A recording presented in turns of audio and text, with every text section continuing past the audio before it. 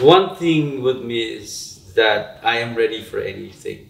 I mean, whatever um, style you have, um, behavior, habits, tantrums, or I, I work with it. I mean, if it will work for me, I will work around it. But definitely, I will not ruin my, my, my job, my interpretation, just because you are trying to destroy your home. That's a very quotable quote, sir.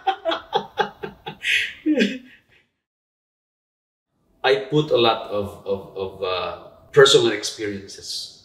In what way? I was a mass comm student. I studied radio productions, journalism, and TV productions. Somehow, even if I haven't really experienced doing that professionally, I have experience doing that in the school through my uh, uh, practicum and, and uh, associations with the professionals. And we grew up watching uh, radio journalists. We grew up watching uh, television anchors. There are a lot of, of resources to be used. So it's not for me, it's an advantage. And I used all, all of those materials. So I incorporated all those experiences. And since I am not Sisoy, I have, I still have to create him a unique person, an original, an iconic uh, character in his particular milieu. Because uh, Sisoy is a small town superstar. And um, he thinks somehow differently the way I do. So I have to make uh, him intentionally uh, unique and original. Uh, we haven't found the, the, the identity of Filipinos yet.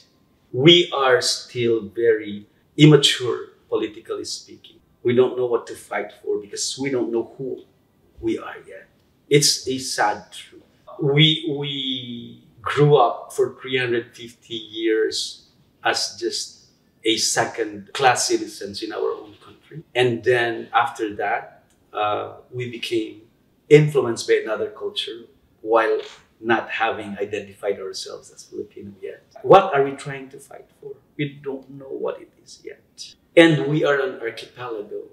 I don't know if that's also the reason why we can actually feel each other as one. Because the regionalism is still very, very much in our in our culture, in our society. And another thing I guess is that since we don't know our identities yet, we tend to idolize people. We try to identify ourselves with a persona, with a, an idol. We always thought that what we need is to look up to that person because that person will uh, empower us. Our, our, citizens have experienced poverty for so long that they do not know their what the, the social services that they, they really deserve they always thought that being poor is just a natural, a natural thing. That being poor is families who, who don't eat three times a day. They're not even aware that the standard of living should be resolved by, by whoever is in, in, in, in the government. We deserve more. Instead of realizing those needs, they're looking at different idols, I think those are the things that made us um, disunited. We should mature as people. We should uh, find our identity. Uh, we should stop idolizing people. We should realize what we need as a nation and, and as people of this nation.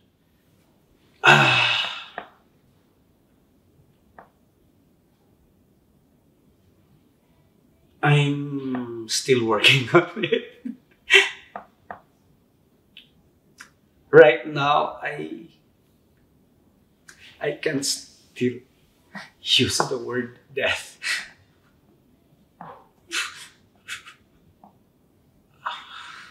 when we're going to talk about my youngest sister, it, it, it was so sudden and I feel that it is so untimely because if we have a better situation these days, I don't think it will happen. To her. Of course, I work on letting it go, letting of the pain go, but keeping the love. But I promised myself that this will not hamper the dreams that I have for my family and for them because these people are my first fans, big fans, and they are also my biggest inspirations as an actor in everything I do as a human being. Their absence should not make me stop dreaming and doing the things that I am dreaming for myself and for my family because whatever I do, I know it, it I, I'm also doing it for all of them. I'm I'm transforming that grief into an inspiration so that I will uh, pursue with, with all the dreams that I know they will be more proud of me as, as, as their family. My greatest influence were actually my, my, my grandparents because I felt that they loved us so much and, and they do, were able to transfer that to to us all because we're also like that to our siblings and and and nieces and and, uh, grandchildren. I think it did. It actually did not change um, uh, any perception of myself. It uh, actually mm, gave me an, an, an affirmation that I'm on the right track. That I'm I'm after those hardships and all the lessons I've learned from from this work of mine as an actor they're giving you an affirmation that you're on the right track. That uh, what you're doing is is is is good. I mean that that um, your dreams are being affirmed, and it made me more inspired, uh, inspired to do more, and to dream more, and maybe bigger. A silver bear from from Berlin or uh, an Oscar would be would be nice, or what uh, a trophy from BAFTA. Wow, you know, we already have a Palme d'Or, but I still want to have one. My one of my films in 2000, in 2000 Anino by by uh, Raymond Red got a Palme d'Or that was the very first uh, Filipino Palme d'Or ever. But as an actor, I haven't got mine yet, so that's another dream of mine. and I mean, they said if you dream, you dream big. So, I mean, why not? Before an actor, I am a human being first.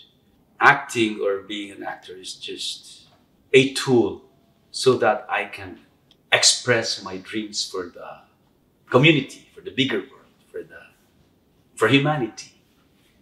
Uh, I wish I can inspire people to do things that will not only make a difference, but will make this world a better place and, and, and will make this country a, a great nation. Okay, I think that's a wrap. Ayaw mo na? Ikaw may gusto namin. no, it's okay.